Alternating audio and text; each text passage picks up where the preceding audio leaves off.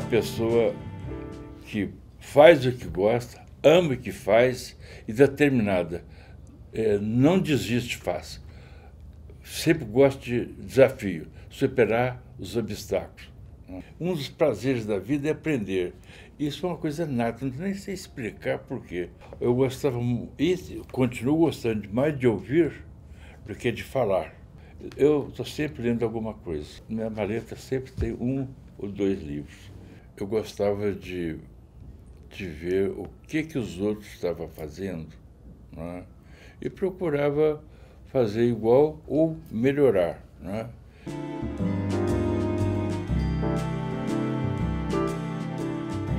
Foi quando eu era muito centralizador, não tinha equipe eu tinha que confiar nas pessoas, porque eu comprava, vendia, é, fazia o livro de preço, tudo ali, né?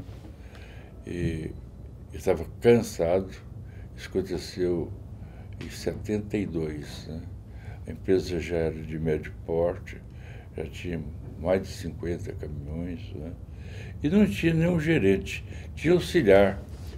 Aí eu tive que tomar uma decisão mais difícil ou confiar nas pessoas, ou ia adoecer, ou a empresa não ia crescer.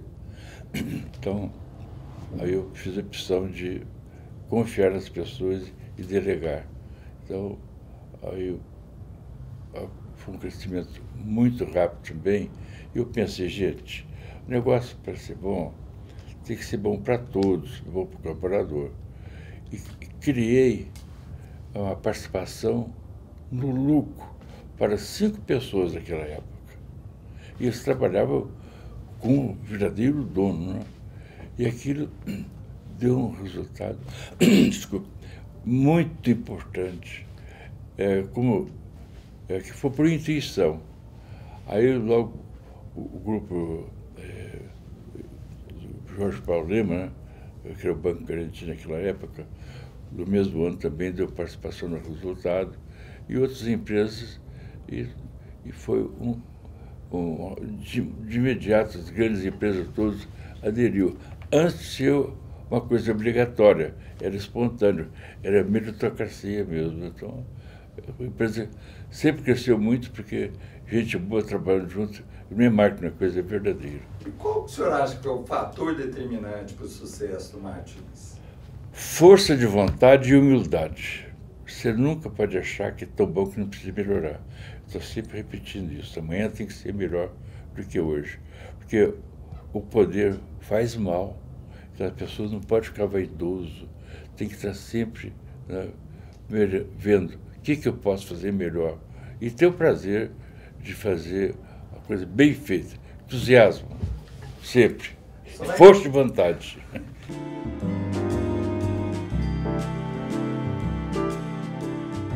Olha, isso aí é um compromisso muito sério, né?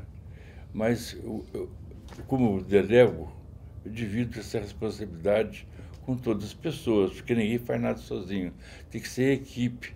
Então, isso é uma coisa que logo aprendi, depois de muito cansaço, centralizador nos primeiros anos. Né? Tinha que escolher bem as pessoas, conhecer as pessoas através de atitude, não pelo que fala, pelo que faz. Né? Então, seja sendo sempre um time de primeira linha.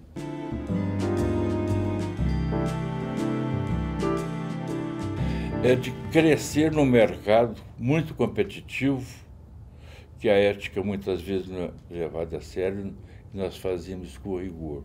Você, para é, ter um bom relacionamento, que o fundamental relacionamento é tratar as pessoas como você gostaria de ser tratado. Tem que ter coerência, porque se você fala uma coisa e fala outra, que não vai valer nada. Então, levo muito a sério esse compromisso da coerência. E imagem forte. Então, não é só falar, tem que ser percebido que, que faz certinho. Então, quando você é percebido que faz certo, gente boa trabalhando junto e tem uma imagem forte, as portas abrem fácil.